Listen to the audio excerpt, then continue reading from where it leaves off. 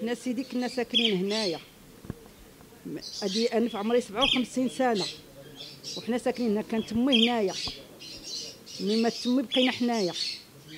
من بعد هدموا البيوت على برا الجماعة قال لك الجماعة داك ديال الجماعة. مي حنا عندنا شرفة حنا من, من, من الشرفة. خصنا نكونوا في الضريح قالنا تبقاو هنا في الضريح من بعد جاو عندنا قالنا غادي تخرجوا. أنا دابا تنطالبوا بأن بغينا نبقاو في الضريح ما بغيناش يريبوا.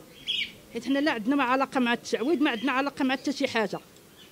حنا حاشا شرط واش غادي يكون فيهم التالتي ديال حنا تنبيعوا الشمع هنا في صالح. تنطلبوا بأن هاد الناس يكونوا معنا بجنبنا ما يخوش منا في الآخر. السلطات والشرطه تا هما اللي تا هما يكونوا معنا كانوا الشعوذه على برا هي كانت شي كانت شي ديال الشعوذه يعني كل واحد على تيعس في قبره. آه. كل واحد تينعس في قبره السيد. هادو كانوا شعوذه وكان عارفينهم كله المخزن كله كان عارف بأن كاينين الشعوذه هنايا. وحنا الملك جلاله محمد السادس كان تيصيفط لنا هنا المعاونات يعطينا. ما عمرو تخلى علينا. وحنا تنطالبوا دابا بهاد الناس يوقفوا معنا ما يتخلوش عنا في هاد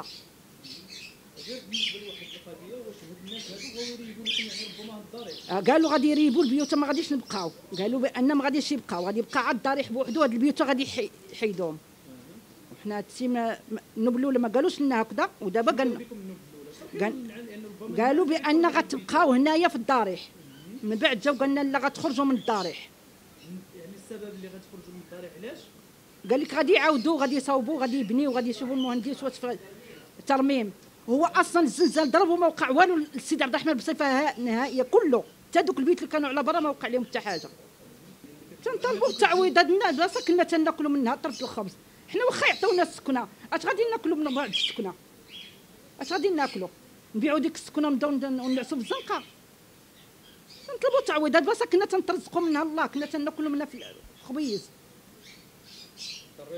آه إحنا ضرينا. والله هو اللي عالم بينا.